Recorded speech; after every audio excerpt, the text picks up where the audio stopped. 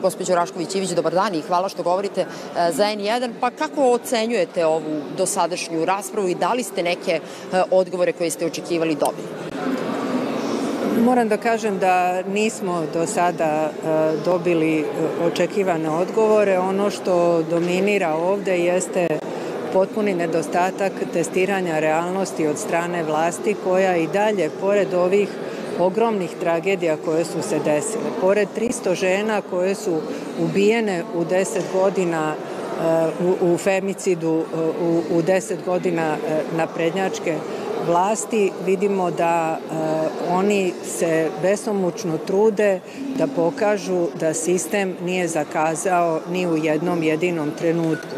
Mi smo tek na prvoj tački rasprave, a to je e, bezbednostna situacija, još nismo došli ni do REMA, ali ono što se vidi, što nam je premijerka rekla, izgleda da je REM praktično nesmenjiv, a to znači da e, nema šanse da se e, stave reality pod kontrolu ili da se pod navodnike, ne daj Bože, oduzme nacionalna frekvencija Pinku pa i Happy-u. E, mislim da e, će ići jako teško jer ovo do sada ne liči na dijalog vlasti i opozicije. Mi ne dobijamo odgovore na naša pitanja nego stalno dobijamo i insinuacije i optužbe kako je to bilo za vreme bivše vlasti.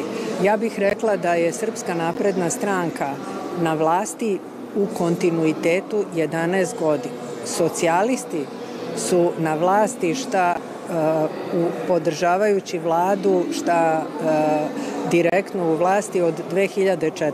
Znači ogroman broj godina, da ne govorimo o 90. godinama, oni su samo imali tri godine te pauze, odnosno interregnuma u vlasti, ali evo, pošto je noseća stranka u vladi Srpska napredna stranka, za 11 godina moglo je da dođe do uh, različitih promena i do uh, različitih, uh, različitih reformi u e, našem društvu, a to nije došlo. Ja bih želela samo da kažem i to ću reći kada se budem obraćala e, šta se tiče bezbednosti. Znači, policija, odnosno predsednik je najavio da će 5000 specijalaca biti angažovano po, sa platom od po 300.000 e, dinara. Mi imamo 1800 škola u Srbiji. Od tih 1800 škola barem pola nema psihologa ili ima samo po jednog redko je neka škola da ima i dva psihologa.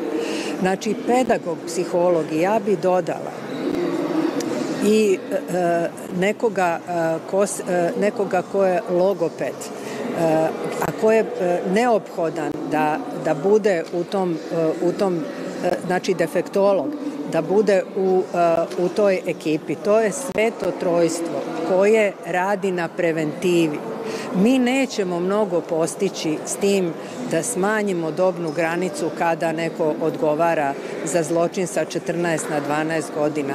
Nećemo postići mnogo ni sa povećanjem broja policajaca u školskim dvorištima, možda kod e, prodaje e, narkotika koji cvetaju sada u našim školama, ali ono što jeste preventiva, ono što jesu specijalne jedinice mentalnog zdravlja naše dece i naše nacije e, jesu psiholozi, jesu defektolozi, jesu pedagozi koji moraju da budu prisutni u svakoj školi, jer e, to je način.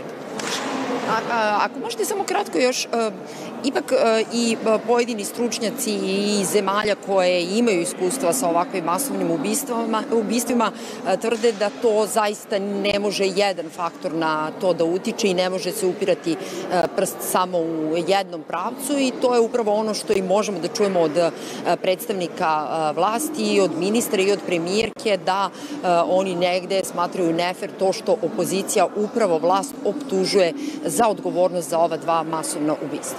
Vidite, meni ja bi kao psihijatar bila potpuno nestručna kad bi ja rekla da je vlast kriva za sve, ali za bilo kakvo agresivno ponašanje imate nekoliko faktora. Prvi faktor je genetika, drugi faktor je porodica, e, psihološka struktura e, čoveka koji vrši nasilje i e, taj socijalni faktor, odnosno okruženje i atmosfera u društvu sa sve institucijama koje, koje su u tom društvu prisutne i koje bi trebalo da rade svoj posao. Za ovog dečaka Kostu e, policija ne snosi e, direktnu krivicu jer e, nismo, nije niko mogao da zna šta se dešava u glavi tog dečaka.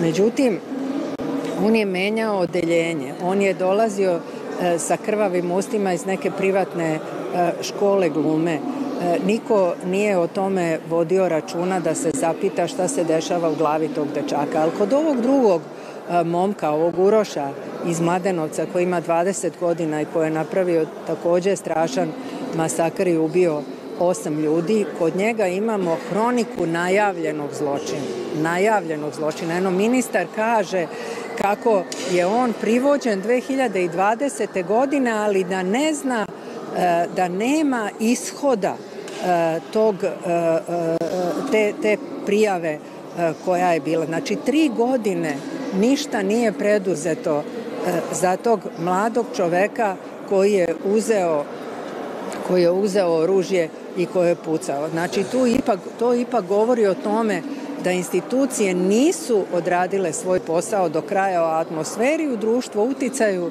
realitija, o tome tek treba da govorimo, ali vidimo iz opšte atmosfere da to naprosto neće biti prihvaćeno. E, hvala vam puno na ovom razgovoru. Bila je ovo Sanda Rašković-Ivić, poslanica iz redova na Narodne stranke.